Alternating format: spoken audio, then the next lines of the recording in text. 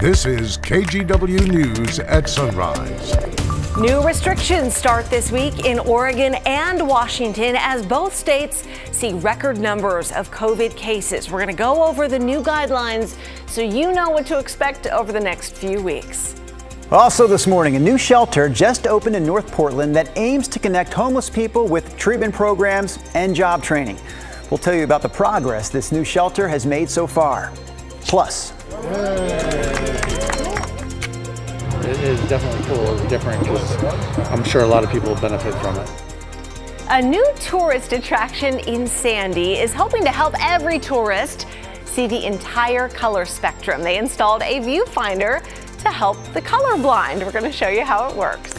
It is a Monday morning, Rod and Nina. We've got that uh, November, December vacation schedule happening now. So Brenda's off this week. I am back. Uh, I got to be honest with you. It feels yes. weird to get back in the saddle after a week off. So uh, I may need about two hours to get my feet underneath me if you don't mind. oh Boy, this could be By a 701, I'll be great though. this could be a bumpy show. Oh. Okay. Good morning, everybody. Uh, this is mostly light rain. It is widespread across the area. It's with a warm front that's moving south to north this morning up across our region. I said warm front, so we're still very mild out there. 48 in Portland, 54 at noon. You know, there could be some cloud breaks this afternoon, but there could also be a low cloud deck that is stubborn and produces some patchy drizzle. Again, we'll be mild all day long. All right, Rod, we'll see you soon. Thank you. We start with yet another grim milestone for the United States. We have now passed 11 million COVID cases, and they are spiking across the country as well as here in the Northwest. More than a dozen states you see here on the map are issuing new restrictions to help slow the spread, including Washington and Oregon. So in Washington, the majority of those restrictions take effect tonight and they will last for at least a month. So here are the big takeaways. For restaurants and bars, only outdoor dining and to-go service is allowed. There'll be capacity limits for retail stores and churches. Plus, choirs and bands won't be allowed to perform during services. Weddings and funerals can be held with limited attendance, but receptions won't be allowed. Gyms will have to close, as well as entertainment spots like movie theaters, museums, and zoos. And this is a big one for Washington. Social gatherings with people outside your home are not allowed at all unless you hmm. quarantine for 14 days prior or quarantine for seven days and you test negative for the virus. Washington Governor Jay Inslee acknowledged this won't be easy for a lot of people, but he also said the restrictions are necessary to help save lives. So, what do you all think about it? Tim Gordon talked to people in Clark County. We are today in a more dangerous position than we were in March. In a rare Sunday news conference, Washington's governor said with daily COVID case counts doubling in the past two weeks, we all must help stop the surge. We make a decision whether this is pandemic is going to swallow us whole. We make a decision whether we're going to eventually recover our economy. We make the decision whether we're going to show our loved ones that we really love them. A lot of the economic pain will fall on restaurants, where it will be at least four weeks of no indoor dining. Carol's Corner Cafe is a popular spot in Clark County. People are very friendly, it's good food, um, plenty of it. Running at 50% capacity with safety practices in place. We feel like Carol's is really taking precautions. Um, and any place we go out to eat, we make sure that they take precautions. That ends Wednesday when the dining room shuts down. Yeah, so it's rough. It's going to be rough for everyone, and I hope everybody um, comes together and, and does the takeout portion of it all because it's really going to be the only thing that helps these little places. Martha Roy is waiting for a table with her daughter and grandson. She loves Carol's. But my stance is I'll follow his lead, and if that's what he says, if we save lives, it's worth it. You know, we we lost our neighbor, a young man this year who had four young children to COVID. Retail and grocery stores will need to limit customers to 25% capacity, down from 30%. We found shoppers thinking about this in different ways. I'm not big on government restrictions. Honestly, I think that we should be able to be responsible ourselves. We have to do anything to bring the level of this virus down. I mean, it's out of control. Uh, we talk a lot about restaurants and stores, but Governor Inslee made the point that what we do or don't do in our homes may be most important. And this may be the toughest for the average person to manage.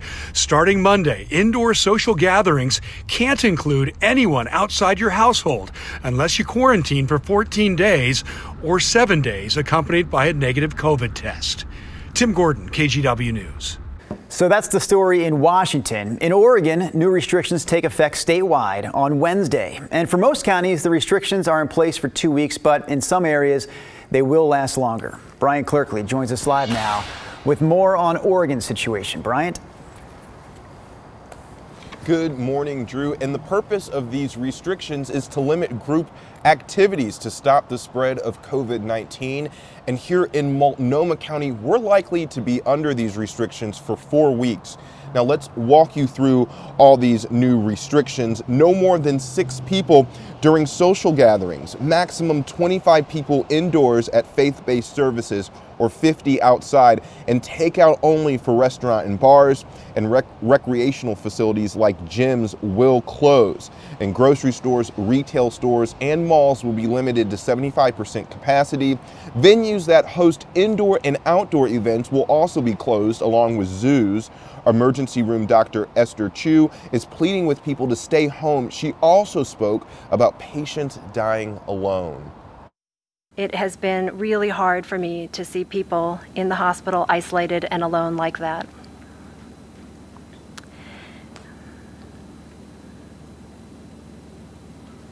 I'm sorry. Many of you cheered and rang bells and put up signs calling us heroes.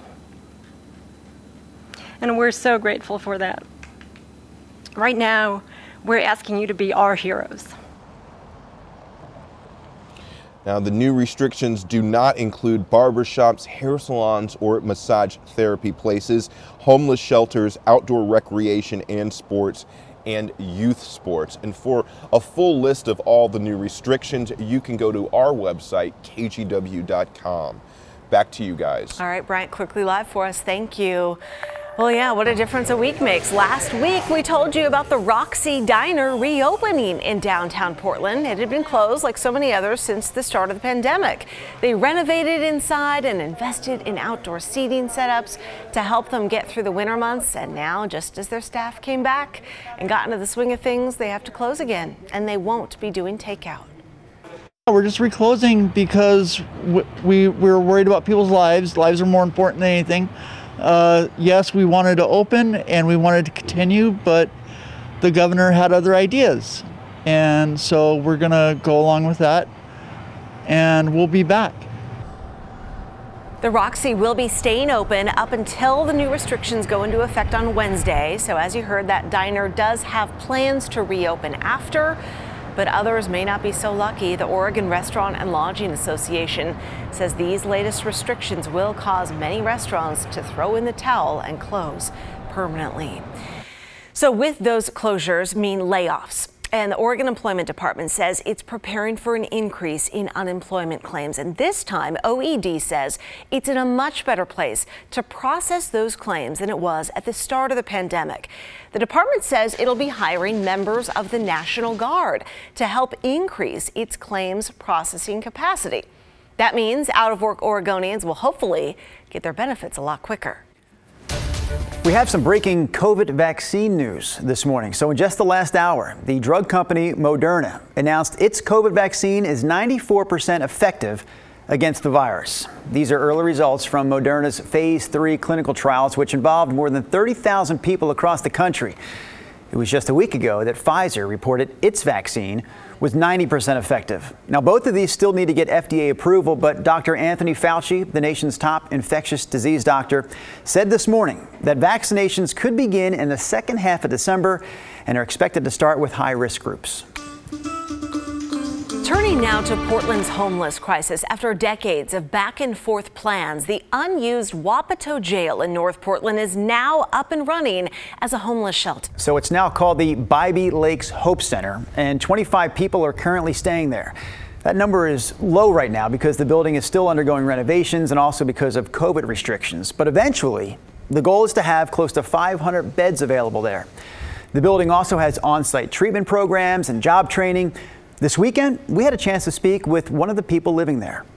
This works for me because, well, A, you have the staff, you have a great support team, and they hold you accountable for your actions as well. And so it's one of those things that helps get you back onto your feet on the right track, and it's positive influences. And it's not just, you're not just a number in a shelter, that you're actually a person.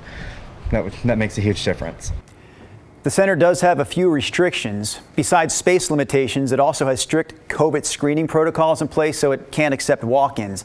People who stay there also have to agree to be clean and sober. With all the new snow on the mountain, many ski resorts are looking to open soon. Now, ski resorts are not included in COVID restrictions. So Timberline says they're hoping to open next Wednesday, the day before Thanksgiving. This all hinges on snow. Mount Hood Meadows hopes to have enough snow to open Friday, November 27th, the day after Thanksgiving. And Ski Bowl is shooting to open at the start of December. Whenever the season does get started, be sure to check with resorts on their COVID restrictions. I just checked this morning. They're right there on the home pages. In most cases, you'll have to reserve a time online before you head up to the mountain. Speaking of right now, let's talk about Timberline Ski Lodge. This is uh, the live shot there of the lodge. Currently snowing. And Rod, I just drove over the pass yesterday and it was just pouring rain. Yeah and wet roads. It was no big yeah, deal. It's actually a wet mix at Timberline right now. Snow levels going up to 8,000 feet. So if you're traveling, it's going to be rainy travel at times today, tonight, and tomorrow. I know that's not great news, but then we will get, we will get colder again the back half of the week. Uh, Government Camp's at 34 degrees right now and expected to get all the way up into the mid even upper 40s today. Timberline will be up to, I think, at least 40 degrees today.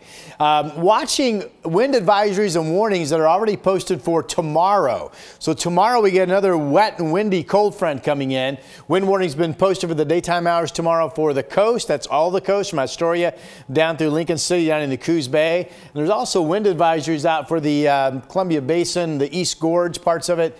That again is tomorrow. Okay, here's what's going on today. We have a push of warm air coming up ahead of tomorrow's front. This is mostly light rain, and this will be mainly an early to mid morning thing. And then this afternoon, I'm not sure if we get a cloud break or if we stay cloudy with some patchy drizzle. Could go either way. We're at 48 right now, so plenty mild out there. Look at these temperatures. Hello, Salem, 63 big ones for a high today with a south breeze. And I mean, it's not nothing to, to uh, you know, to, I can't even think of the word I'm going to use. It's warm in Longview. Let's go with that. 58 degrees, your high temperature today. Tomorrow, the wet, windy weather will start off around 50. We'll be in the upper 50s all day long. Occasional rain on Wednesdays. We start to cool down. Still looks like we could actually have some dry weather with freezing temperatures again in the mornings this coming Friday and Saturday, guys. Rod, if you'd like, we'll give you about 15 more seconds to come up with that word. I had, I, I, there was a point where I realized I'm not going to come up with a word. I, I better don't know move what on. to say. I like the 63 big ones too. It was a it was a good first weather. All right, Rod, thank you. The KGW Great Toy Drive is underway now, and every year the drive provides thousands of gifts to nonprofits that serve local families to make sure kids across our area have a great holiday. So up next, we'll get a look at one of the groups your generosity is helping. Plus, we're also talking this morning about a new view in Sandy. We're going to tell you about the device that's helping people who are color, uh, colorblind, that is. That's my fault for uh, mess- messing with the rod, right? Karma. Anyways, this brand new device is helping people who are colorblind enjoy Sandy's scenery.